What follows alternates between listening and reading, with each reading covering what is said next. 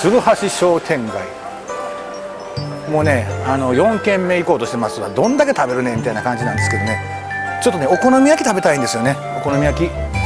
お好み焼きはねちょっとね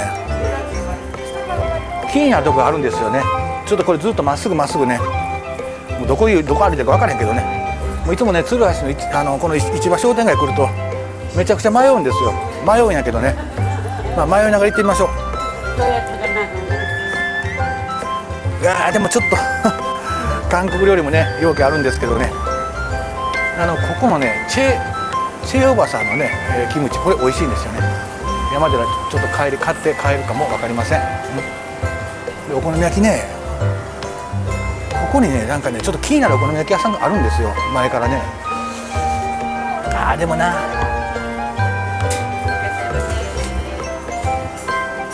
いいですね。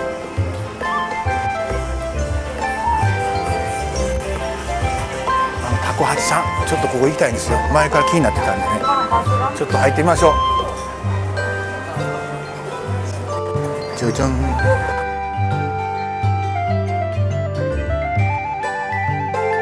え今ですねお好み焼きタコ八さんに来ました、えー、里井許可いただきましたよ。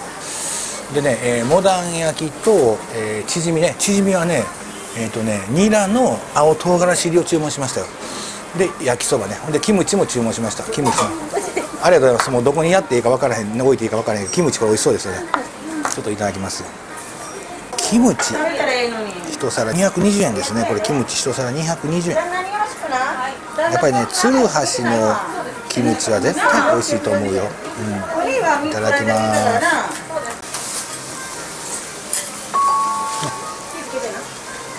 美味しいキムチめっちゃキムチ美味しい。うん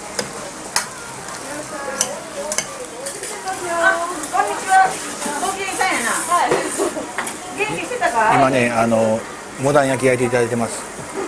でねチヂミも焼いてるんですよチヂミもね。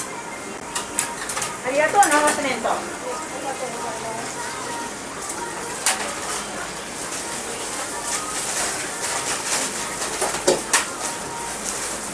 上に乗せてぐるっと回して、はい。そのまま食べる。美味しい食べ方ですね。美味しい食べ方教わりましたね。でマヨネーズいける。いやマネーザー僕いらないですわ。いらない。はいこれねあのキムチ今ちょっと教わりました。このチヂミのね上にキムチをま乗せるだけだからね。巻いた方が美味しい。巻くねこうやって巻くね、うん。ありがとうございます。ありがとうな。巻いていただくと美味しい食べ方ということでえ伝授受けました。いただきます。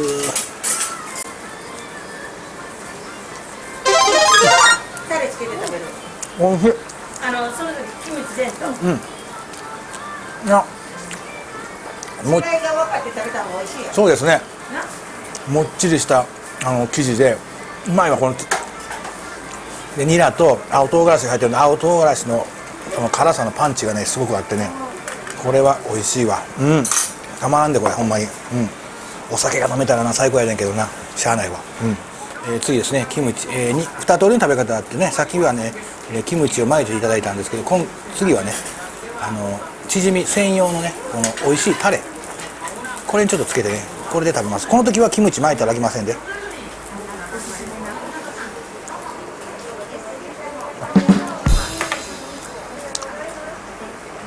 このタレも美味しいですね。あああれね。あれだでもほんまこれあの味噌味噌だれやけど味噌でも辛い辛い。これなあの自家製やから。そうですよね。自己自家製やんね自己製って言いそうになったけど自家製やん。これめっちゃ美味しい。いやあそっか自己やもんな。そうやそうや。ほんまに美味しい。これマジで。これ癖になるわ。うん。そん。はい。これ二枚貸してもうて。あいいですよ。なんかいろんな美味しい食べ方教えてくれるみたいですよ。ね。ねありがとうございます。ね。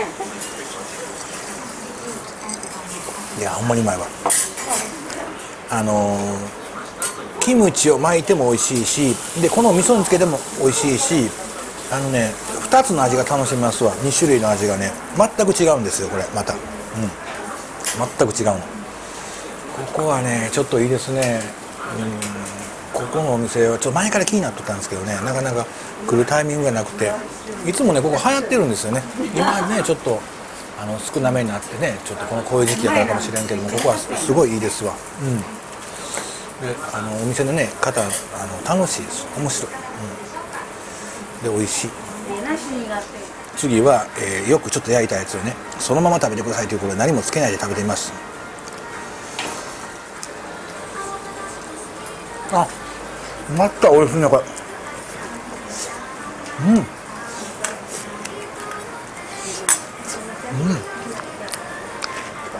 このまま食べてもめちゃくちゃ美味しいわ。めっちゃうまい。ああ美味しい。このまま食べても美味しいですわうん。ね。ああ。男前じゃないですけどね僕はね。ありがとうございます。すっごい美味しいわ。味はそれはそうか。いやいやそんなええもんちゃいますけどね。なんかもう漫才してるみたいですよ。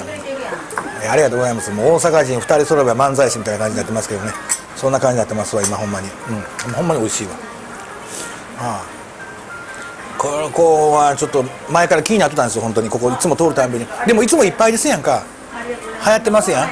そうそう。だからちょっとねあれですけども。だから逆に今あのあの来やすいです。今今がチャンスかもしれません。がいつもいつもね。うん。数が少ない店やからね。はい。うん。テーブルが。いやそびっしり入る家やから。はい。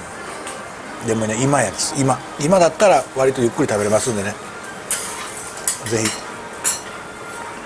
まあでもあのあ。これも見て豚頼んだからええ色やんか。あほんまやね。たまはつるっとして。なんでやねん。お すすめの食べ方ですよね。卵乗せたらね美味しくなるということで。というかここのお好み焼き見るからに美味しいですね。これ卵な生地自体にも卵よく使ってるんちゃいますの？色が。食べて考え。食べて考えます。ありがとうございますいやこれ絶対美味しいわ。小判型に焼けてね焼いてうわええ感じ。これビジュアルがやばいですわ本当に。うわうわうわうわ。マヨネーズはあかけてもいいですよ。お好みの場合は食べはい。大丈夫です。すいませんね。変わってるんで。はい。潰れへんねんがええねんけど。はい。兄ちゃんの顔見てしやんかなんか手が震えてすぐになんでやねんよう言いますわまに。もう面白いなここは本当に。完全に漫才ですよなうんいやいやこれはもうこれかあらべっぴんさんにするで。ありがとうございます。いやいやもう本当にうわまだべっぴんさんになるんですかこれが。うまそうなモダン焼きですね卵かぶしてもらってね。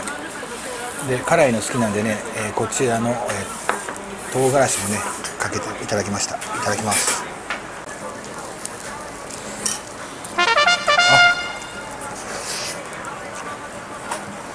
めちゃめちゃ美味しいですやん。これ卵ようけ使ってるんちゃうかな。すっごい美味しいわ。でねソースもまた美味しい。甘めのソースじゃないけども甘めのソースに唐辛子がかかってるからかけてもらってるんですけどね。やっぱりこれ。うんうん。うまっ。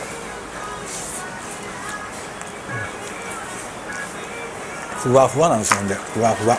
うん。見た目ねなんかねあの硬そうに見えるでしょ。でもね実はねふわふわなんですよ。焼き方に工夫されてると思うんですけどね。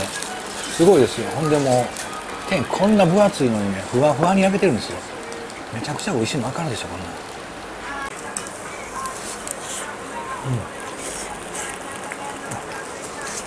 うん。うまっ。何回食べてもうまい。うん。よし次はねこの卵。ありがとうございます。うわちょっとこう卵ねかぶしてもうたとこがいい感じの硬さになってますわ。あーもう黄身が来てるね。いただきます。うん。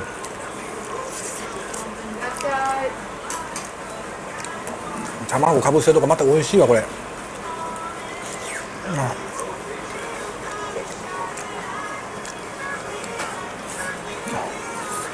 まっ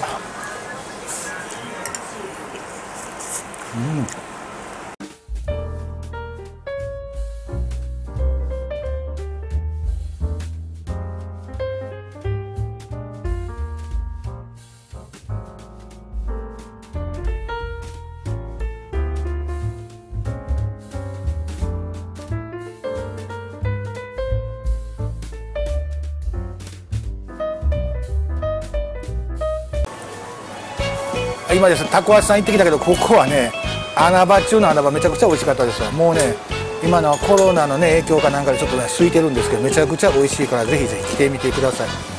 ここねお好み焼き最近いろいろ食べてますけどねめっちゃ美味しい。